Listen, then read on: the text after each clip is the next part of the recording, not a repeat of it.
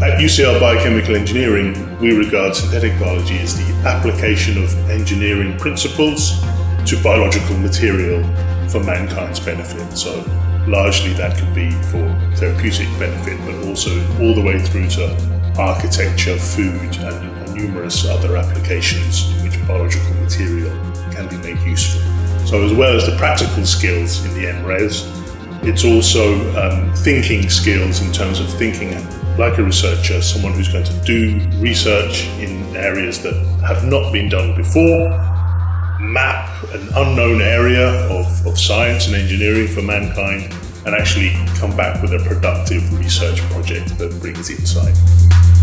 I investigated new microorganisms for the degradation of polypropylene. We found out that some bacterial strains managed to degrade slightly polypropylene and also in combination with some treatments um, managed to oxidize the plastic, but there's still a lot of experiments to do. I've had a lot of work with recombinant protein, expression, stuff but quite traditional things, like with cell culture and stuff like that, and uh, using HPLCs and the like to uh, purify things. So we're based in the pilot plant and we get to use all of that tech down there. Our technology sort of allows for really sensitive detection capabilities. One of the best examples of this is for cancer diagnoses. For instance, we're able to detect targets at like femtomolar concentrations which like if you're able to detect things at such a small concentration um, you could catch cancers more easily well earlier diagnosis leading to sort of better survival outcomes what I like specifically about biochemical engineering is that it's a relatively small department and it has a very familiar environment.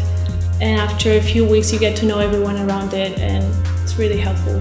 We do have a broad range of students from a biological background through to more engineering or other non biological backgrounds. But broadly speaking, they go into two main camps, which is doctoral research studentships and industrial positions. They're relative, they are quite well sought after the graduates of the MRes course and um, tend to go with very successful, high profile startups and established companies um, throughout the world. And they can go forward in their synthetic biology career secure in the fact that they have that profound knowledge of the, the concepts and the pragmatic research skills required for a, an elite synthetic biology career. If you like research, if you like hand-on experience in the lab, just go for it.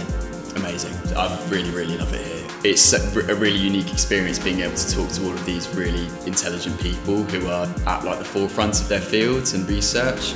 So it's a proper unique experience. The best thing I've done. Gone from knowing about everything on paper, it's turned me into a proper researcher who can carry out his own experiments and do his own stuff.